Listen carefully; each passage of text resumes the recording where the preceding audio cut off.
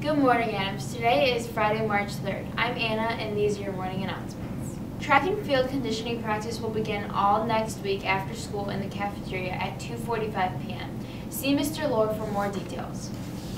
Attention anyone interested in playing softball. There will be a meeting today after school at 2.40 p.m. in the PE classroom near the gym. On Saturday, March 4th, from 10 a.m. to 5 p.m., there will be a mattress fundraiser in the cafeteria. This fundraiser will be in support of the Highlander Ba- Band Program. Hope to see you there.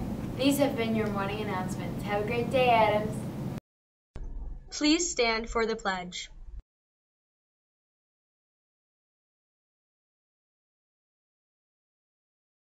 I pledge allegiance to the flag of the United States of America and to the republic for which it stands, one nation, under God, indivisible, with liberty and justice for all.